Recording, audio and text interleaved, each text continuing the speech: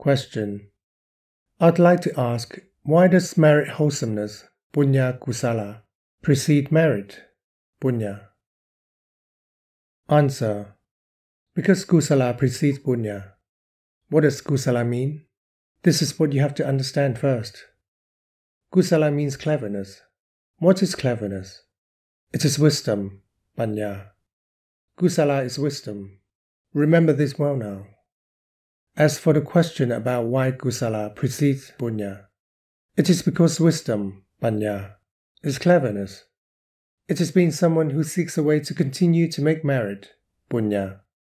If someone does not have wisdom within them, even if they have money in the millions or billions, they would not know how to take all of that money and make merit with it.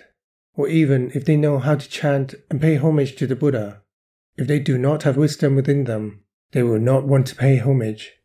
This is lacking wisdom. If only wisdom is lacking, other things will be damaged as a consequence. There is no desire to do them. Kusala is a big topic. It is where all merit, punya, originates. That is, it is an issue of wisdom, panya. This is an issue of wholesomeness of the sensuous plane, kamavacara kusala, about making merit. In other words, right view, samma ditthi, of the Noble Eightfold Path. Now, the Noble Eightfold Path, right view, samma ditthi, right thought, samma sankappa, and so on, is both kusala of the sensual plane, kamavacara kusala, and kusala to transcend the world, yoga vajala kusala. It is about wisdom. As the wisdom of the sensual plane, when making merit and giving charitably, in order to earn a castle in heaven, that is an issue of wisdom in making merit.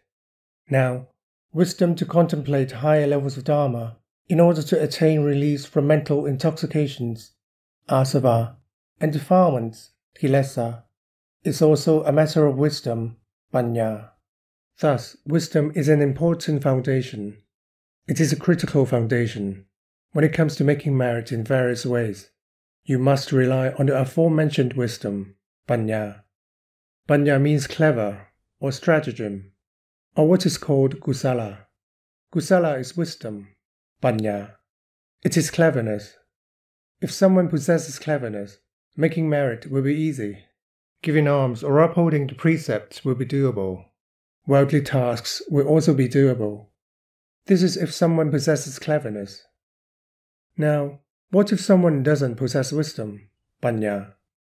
Even if there is work right in front of them, they are unable to do anything. Suppose they were to walk from here to a forest near home, or near this temple here. They could walk, but if they didn't possess wisdom, if they were to see a dried log in the path, they wouldn't think, What could I do with this dried log? They wouldn't think of it. They would walk right past it. See, they wouldn't think of how that dried log could be used for some purpose. There is no understanding, no know how.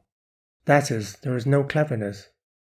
If someone already possesses cleverness, the instant they see the dried log, they will think, Hmm, this dried log could be used for kindling, for cooking.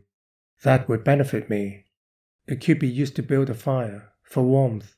They would take that dry log and build a fire, and reap the benefits. Unlike someone who doesn't possess wisdom, someone who doesn't possess wisdom can only squat and defecate all over it and leave. There is no benefit. With something this simple, someone with wisdom will already know Someone with wisdom will recognize the benefit in the things they see.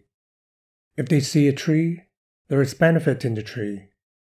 If they see various things, there is benefit in those things.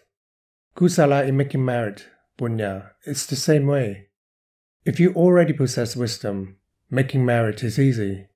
See, wisdom precedes merit. Question How is it different from cultivating punya kusala? Answer. They are just reversed. Punya kusala or kusala punya. They are the same. It is like saying dad and mom or mom and dad. In reality, kusala precedes punya. Use this point as your basis. Question. Would it lead to different results? Answer. There is no difference if you have established wisdom as the basis. There is no difference. This is the only basis. It's merely saying it in reverse.